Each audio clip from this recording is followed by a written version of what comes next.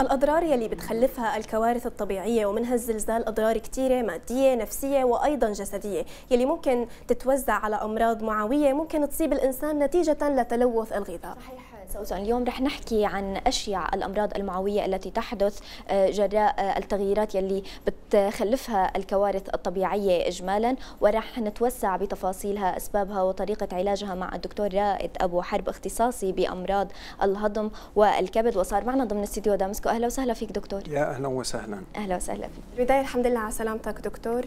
خلينا بالبداية نحكي عن الأمراض يلي ممكن آه، تكون أكثر شيوعا الأمراض المعوية يلي ممكن تصيب الأشخاص بالكوارث الطبيعية والزلزال يلي نحن عم نعيشه حاليا. نعم في الواقع آه، بداية الأعراض الهضمية هي تكون جزء من متلازمة جهازية عامة ناجمة عن الحدث المؤلم الذي أصيب به الشخص. والحدث المؤلم من ضمن الأحداث المؤلمة هي الكوارث الطبيعية الزلازل براكين إلى آخره. آه، يتعرض الشخص إلى شدة مفاجئة وهذه الشدة المفاجئة تؤدي إلى ظهور أعراض منها نفسية آه، سيحدثكم عنها المختصين بالاضطرابات النفسية. وهناك أعراض عضوية يشتكي منها المريض آه، تكون ناجمة عن هذا آه، هذه الشدة أو الاسترس الحادة التي تعرض لها. على مستوى الأنبوب الهضمي أو الجهاز الهضمي يمكن الأشخاص المستعدين والذين لديهم استعداد وسوابق لمتلازمة أمعاء هيوجة أن تتحسس هذه هؤلاء الأشخاص يتحسسون من الحدث وتظهر هجمة لأعراض ما يعرف عاما عاميه بالكولون العصبي أو متلازمة الأمعاء الهيوجيه فيشعر الشخص بالغثيان يصبح يشعر بألم في منطقة المعدة المغص البطني تبدل في عادات التغوط إما حدوث إسهال يضطر المريض إلى الدخول عدة مرات إلى الحمام أو على العكس يحدث إمساك إضافة إلى التطبل وتغير الشهية للطعام. هذا من يعني الناحيه الوظيفيه التي تصيب الجهاز الهضمي.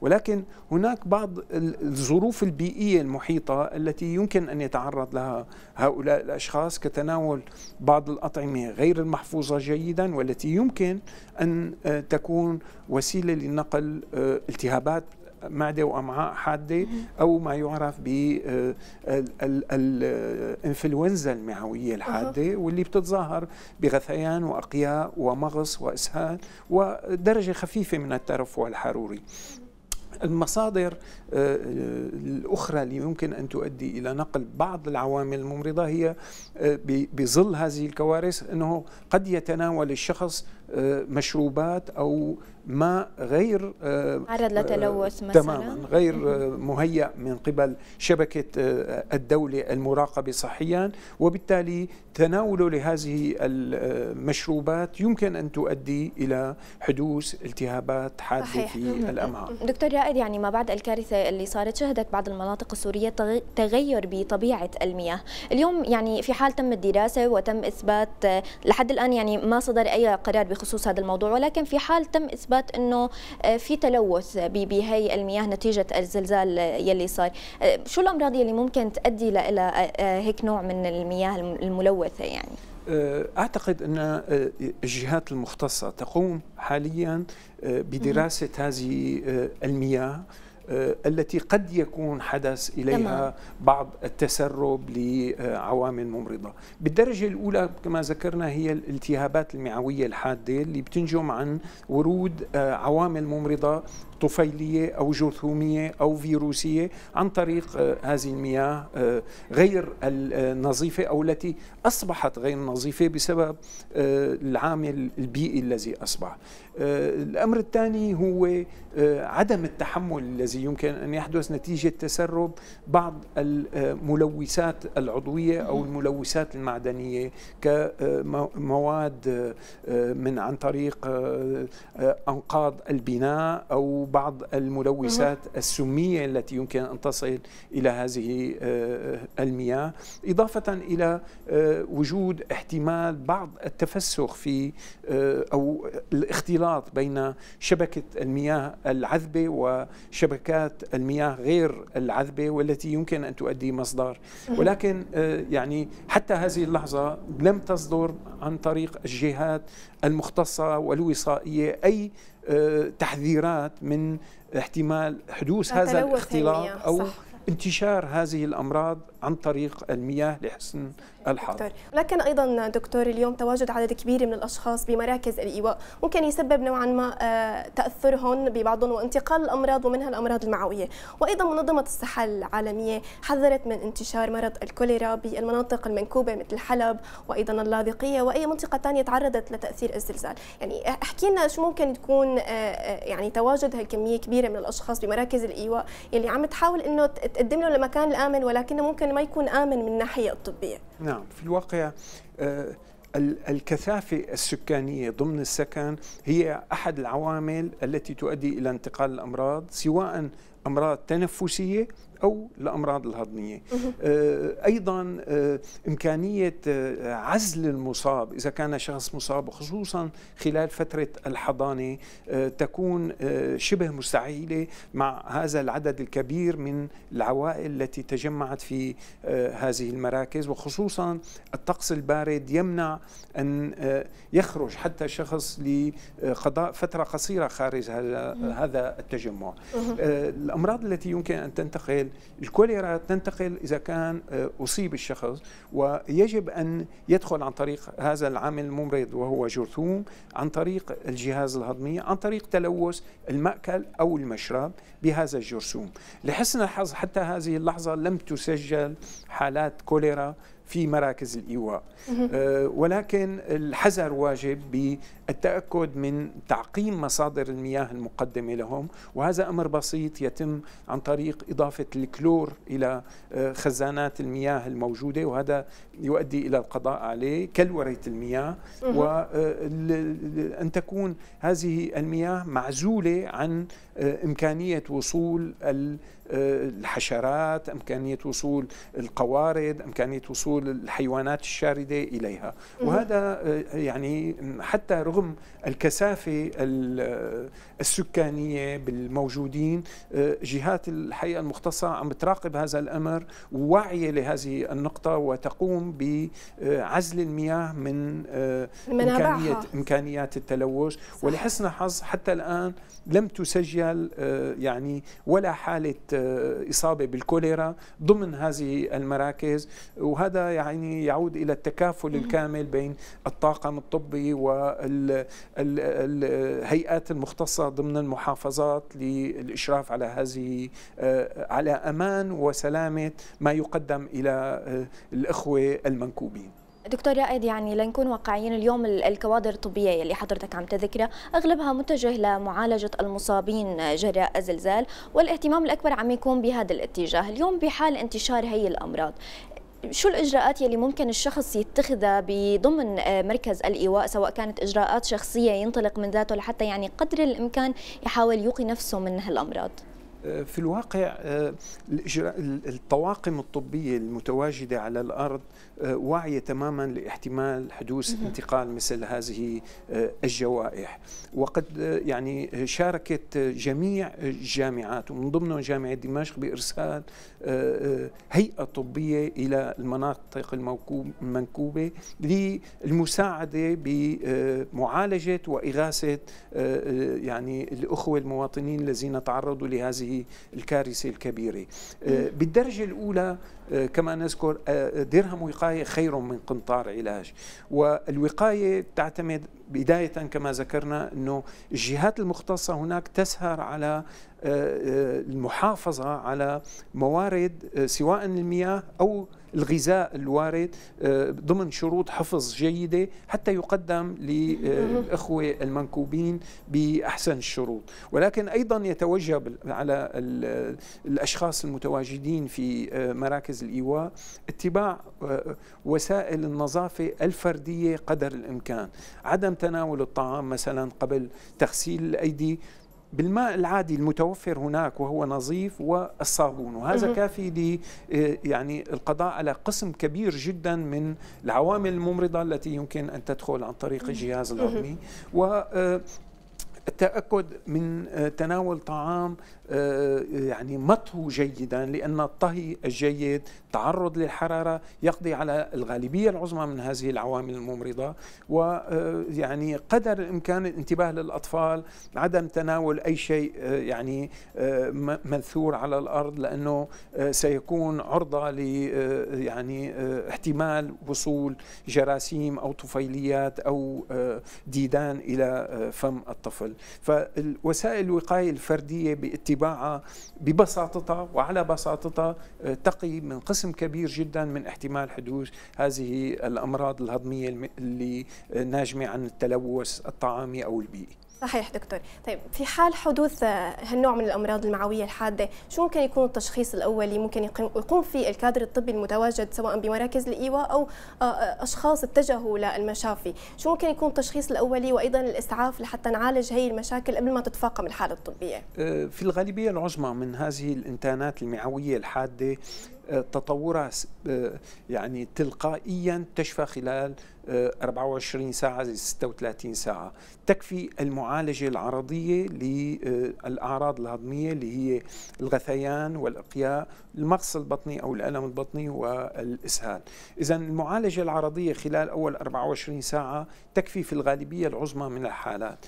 إلا إذا كانت هناك عوامل ممرضة خاصة تم يعني رصدها وهنا تحتاج هذه الحالة إلى تعويض سوائل وتعويض شوارد عن طريق الوريد في حال الإقياءات العنيفة المعندة الإسهالات المعندة والعنيفة والمدمات الترفع الحروري الشديد المرافق لهذه الحالات. هنا يتطلب نقل المصاب إلى أقرب مشفى لتأمين العلاج عن طريق الوريد إضافة إلى إعطاء الأدوية النوعية الخاصة بنوع العامل الممرض الذي نقل إليه. وأيضا هذه هذا الإجراء هو إجراء وقائي للمحيطين بالمصاب بعزله عن إمكانية نشر العامل الممرض إلى أقرانه وأهله والموجودين في مكان الإقامة. دكتور خلينا نروح للأمراض المعوية يلي ممكن تخلفها الأدوية بحد ذاتها. اليوم مثل ما الكل بيعرف في مساعدات عم توصل لمراكز الإيواء ومن بينها الأدوية. وللأسف بسبب فقر الكوادر الطبية المتواجدة ضمن هالمراكز عم يتم أخذ الدواء بطريقة عشوائية يعني فلان عم توجعه معدته أعطوه مسكن بدون بدون أي استشارة بدون أي شيء اليوم هل ممكن هي العشوائية بأخذ الدواء أو بتوزيع الأدوية على اللاجئين لهي المراكز ممكن تسبب أمراض معوية معينة؟ بالتأكيد الأدوية هي بحد ذاتها هي أحد مصادر الإزعاجات والاضطرابات الهضمية، نأتي على سبيل المثال إذا كان الشخص ليس بحاجة لتناول صاد حيوي الأنتيبيوتيك أو ما يعرف بأدوية الالتهاب.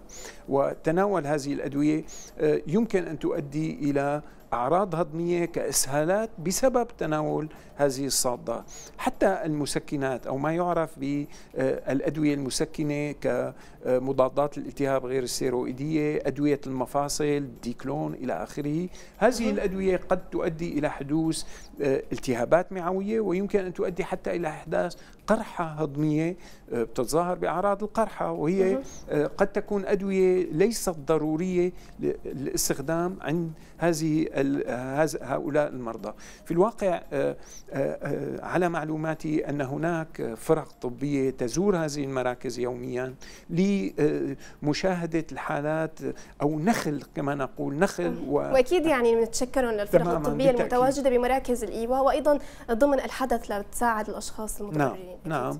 و يعني هؤلاء أشخاص يمكنهم أن يحدثوا نخل مبدئي للحالات التي فعلا تتطلب معالجات خاصة سواء بالصادات أو مسكنات معينة من أشخاص ليسوا بحاجة سوى لمضاد تشنج أو لمهدئات بسيطة يمكن أن تكون كافية لمعالجة الأعراض الهضمية لأن كما ذكرنا هي نتيجة هجمة متلازمة أمعاء هيوجة أو قولون عصبي وليست ناجمة عن انتقال عامل ممرض يحتاج إلى الصادات الحيوية أو مضادات الالتهاب غير السيرويدية. يعني اليوم دكتور ممكن تكون بعض الحالات اللي عم تتوجه للمشافي مصابة بأمراض معوية حادة ممكن يتم علاجها عن طريق أدوية معينة وهي الأدوية هل فعلا متواجدة؟ يعني ما عم نعاني بنقص معين ما؟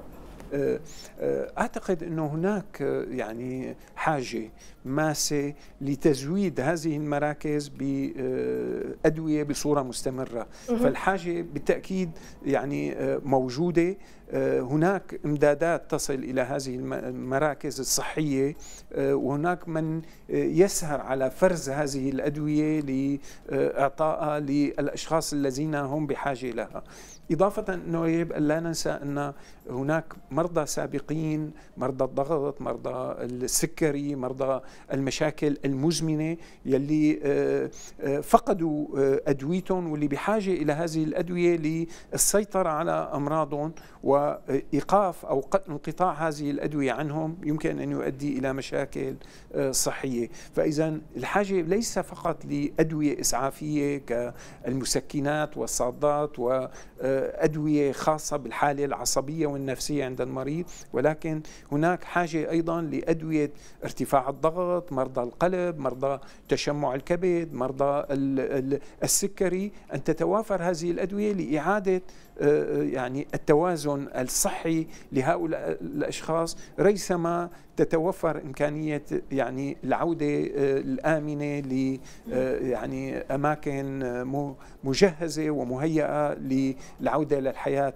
الطبيعية قدر الإمكان. دكتور رائد يعني يطول الحديث ولكن الوقت عم بداهمنا النصائح هيك أخيرة يعني للوقاية من أي مرض معوي ممكن يحدث جراء الكوارث الحاصلة حاليا. في الواقع يعتمد تعتمد الوقاية على آه، الهيئات الصحية والرقابية المتواجدة بالتأكد من آه، مصادر الأغذية ومصادر المياه المقدمة لهؤلاء المنكوبين. والأمر والشق الآخر هو آه، يعني اتباع الوسائل الصحية الفردية للوقاية من انتقال العوامل الممرضة.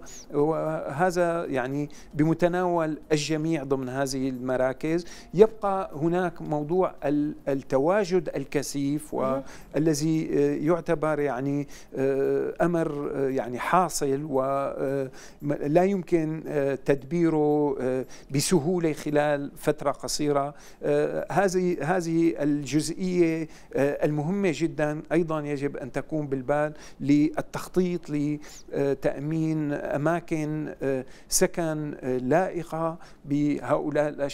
لانتشالهم من هذه الكارثة التي أحلت بهم. أكيد إحنا نتمنى الصحة والعافية للجميع ونتشكر حضرتك الدكتور رائد أبو حرب اختصاصي بأمراض الهضم والكبد. ونتشكر أكيد الكوادر الطبية المتواجدة على رأس الساعة. واصلت يومها بنهارها بليلها لحتى تساعد الأشخاص يلي تضرروا شكرا كثير لحضرتك. شكرا لكم. ونتمنى يعني الرحمة لأرواح جميع آه، آه، من قضوا بهذا الزلزال والشفاء العاجل للمرضى الحاليين والتعافي السريع والعودة أو القدرة على العودة لحياة شبه طبيعية بالنسبة لهم.